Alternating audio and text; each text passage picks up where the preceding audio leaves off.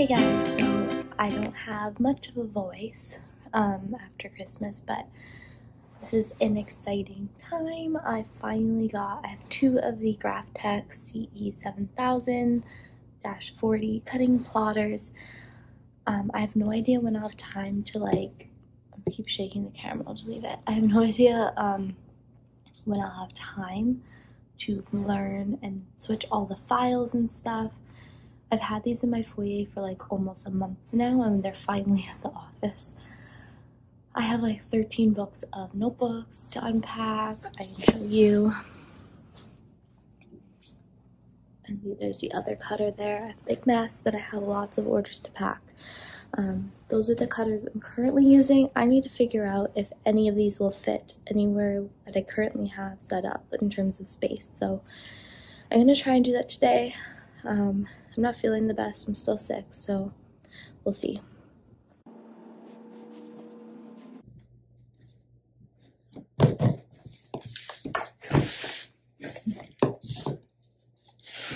Okay guys, so this is a really awkward angle, but I am going to unbox this Graphtec CE7000 40 um, and see how big it is and if it can fit in my current shelving. Obviously, it won't go with the height of the shelves that I have now, but if I adjust the shelves, I'm hoping the width and the depth is okay, so we're gonna find out.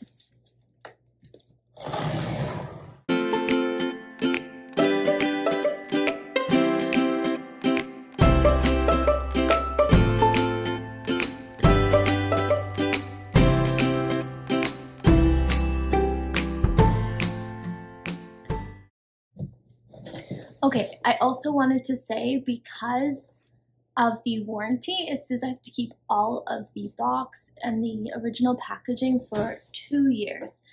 So I'm to have to also find a place to store these two huge boxes.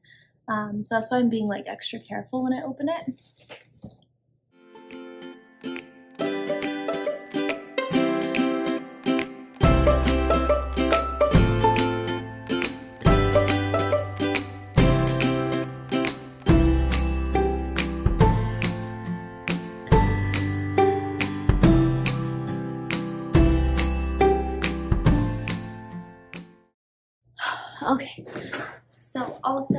Wanted to just say that thing is a bit heavy, um, hard to get out of the box by myself.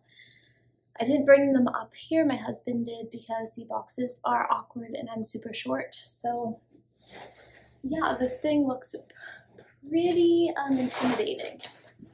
Okay, sorry about it being wobbly. Um, so I'm gonna try and see if it will fit on these shelves. Maybe if the shelf is more spaced out, kind of like down where my printers are. So yeah, that's gonna be my next task.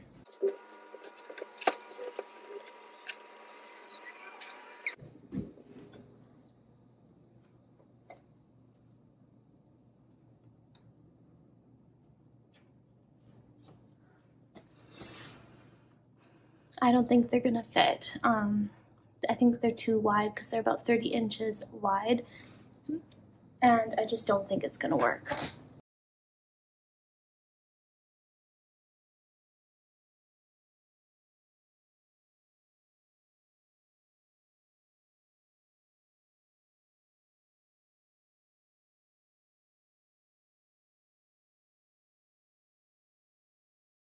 So for now, it's sitting on my desk right next to my computer. Um, yeah, so my plan is, I'm just going to stand up. My plan is if I keep it there, if my standing desk can even move with that, I need to figure out and like buy another one and put it here so I can put them side by side. I think that's what I'm going to have to do. I thought about moving my packing island down a little bit and then making like an L there, um, but then my I can't really use my stand-up desk anymore. So I don't know. I'm going to figure it out. I'm going to see how long the cords are as well because that could change change things a bit. I'm definitely kind of freaking out right now. Um, I did put away, I emptied most of the notebook boxes that I was talking about and, you know, they're stocked up there. There's some extras that I'm not stocking on the site. Some of these are already stocked up, but like the new ones will be this green freely noted, just the plain Tomoe River paper, um, week size. It's like a forest green. I love it. It reminds me of like the Slytherin house. Then there's the restock of the beige freely noted. The other new one is the beige freely noted in pocket size and then standard size. Um, and then all these ones are already on the site listed. They're the freely planned with the 12 calendar, so they are different. I don't like that the manufacturer now added these stickers right in the middle of the packaging, but I tried to take them off um, and they just won't come off. So yes, my manufacturer's in China and I guess it's a new thing they have to add that sticker on every single book. And I thought about moving my label to the middle, but it looked kind of silly. So in the future, I'm going to ask them to put it up in the top right corner because all of my other ones before never came with it. So I don't know, a little bit annoying. Um, this is where I'm going to store those big boxes. I'm going to put the other one up top and kind of like stack it like that. I have like a big mess here. like I have I have so much recycling, garbage recycling that I'm going to kind of go crazy. Um, I don't really know what this spot is supposed to be for when I originally set it up. Like that one I always knew was my paper trimmer, new stock, and like the light box. And then here, I thought about just setting up my foiler, like my foil, my laminator, um, and making this little foiling station, which I probably will if I ever re-release foiled products again. I just haven't in so long. Added an extra printer for like freebies and stuff, while these ones are printing my regular stocks. So I don't know my stock shelf will have more room once I get rid of these. I'll probably keep these three while I'm in the learning phase. I'll probably keep them all while I'm in the learning phase, and then once I have them down pat, I'll probably keep the two portraits and the one Cameo 4, and I'll probably um, put those in storage. So yeah, that's where I'm at.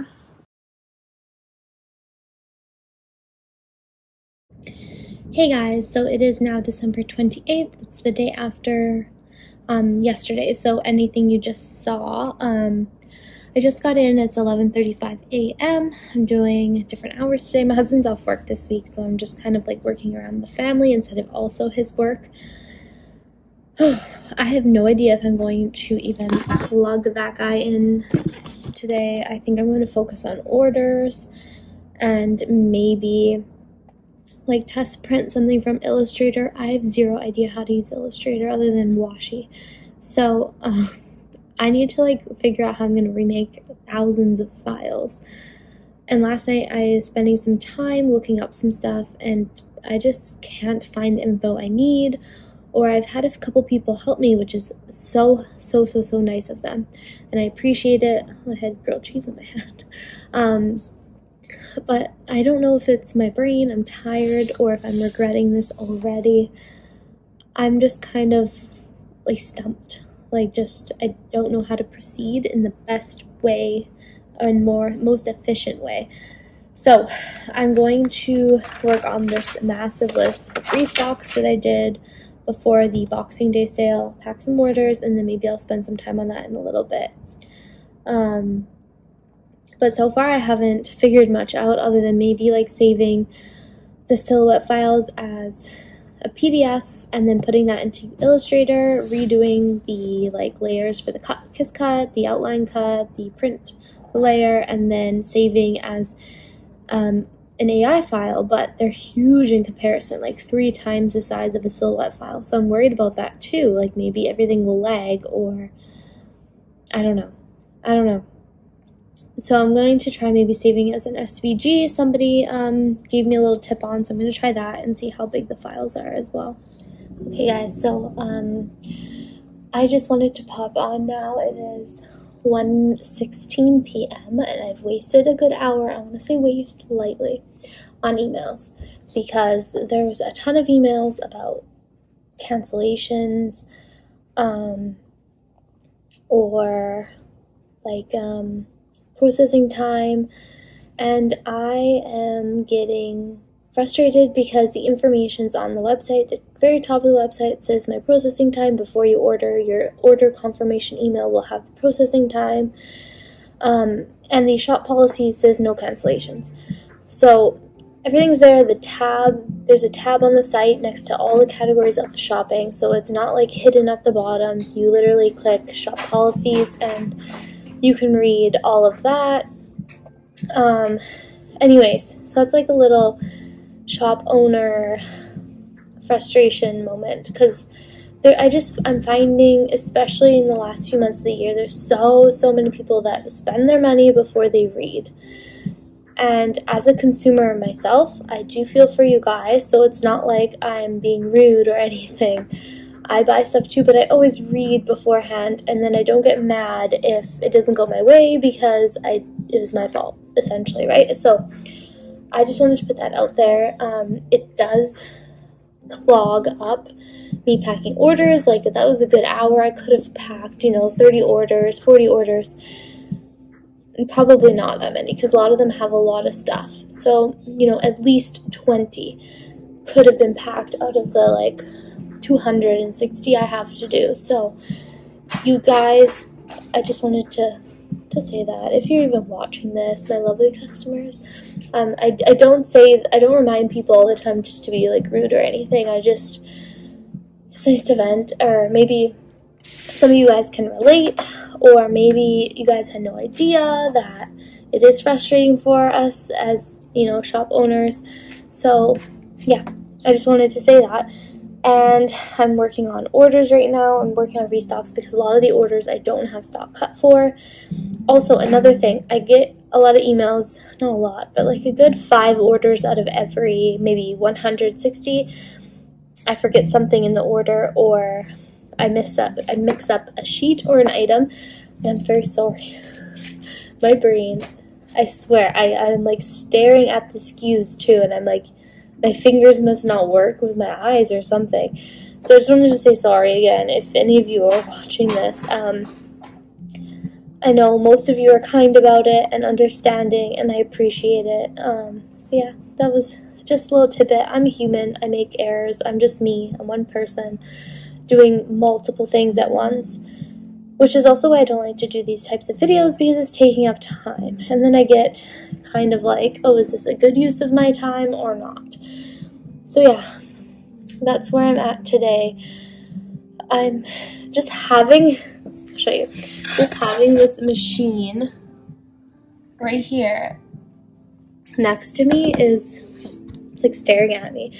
And it's so intimidating. I have zero idea how to use it, and I want to try, but I don't have the time right now because I need to close the shop so I can get a couple so I can get some stuff done. I, I think I need to close up for a little bit. Anyways, so this is what I'm restocking. It's very popular. These snow flowers, I love them. I think they're so cute. Especially the transparent paper is my favorite because of Tomoe River paper. It's thinner. Um, it looks nice to me. Um, the transparent paper. Anyway, so it's like a little side side track. I'll see you guys later. Hey guys, so I'm back now. It is 6.13 p.m. I am super tired. I'm getting all flustered because I'm still sick. I just took some more Dayquil. Um, I'm going to leave soon because I need to get some groceries before I head home, but I am going to plug in... Oh, I'm getting a rash. Oh, wow. I thought that was flustered. No, it's a rash. Interesting. Um, I'm going to plug in the Graphtec um, and just see what the control panel looks like. Maybe watch one video on the blade setup and like go through this baggie of stuff here. Um, I'm a little bit, I'm just scared to like touch it because I have nothing done in terms of files. I don't know how to design on Adobe Illustrator. I've been drawing all my stuff on the iPad and then I design all my sheets in Silhouette Studio because I do, I've always used multiple silhouettes. As you guys have seen before, I have multiple there. Um, and you can't just open the file and cut it on the Graphtec. Um, so this is either going to be great once I get it all set up and going because they're supposed to be faster Um, the two of them are supposed to be faster than me running my six portraits, but the amount of time it's going to take me to remake thousands of files, I don't know if it's going to be worth it. Um, but uh, again, accuracy is supposed to be better too, so we will see. Um, well, it works. I see orange screen. And I dropped the phone.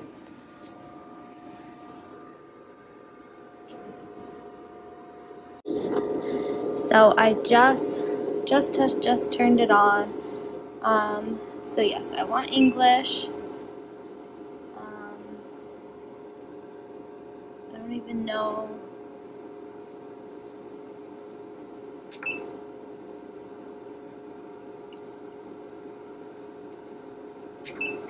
Let's see. Condition. Hmm, interesting. So, I'm going to try and watch a video now on how to load the blade. You can see I literally shimmied the wire here because this is where my plugs are. Another thing, I got the machine to fit down here and this much opening, I had to like put it in an angle, but then I cannot get to the back of the machine. Um, whatever this thing is, I don't know, but I'm thinking I'm just going to have to maybe get a longer cord and get another desk to put the second one, which is still in its box. I don't know. I'm kind of bummed out about that because this works so well. I'm so used to it being on my right side now. Um, anyways, yeah. So I've been trying to just play with blade depth and a piece of sticker paper. Um, and I finally got it so that um, I had to move the blade out more, but I also got the kiss cut.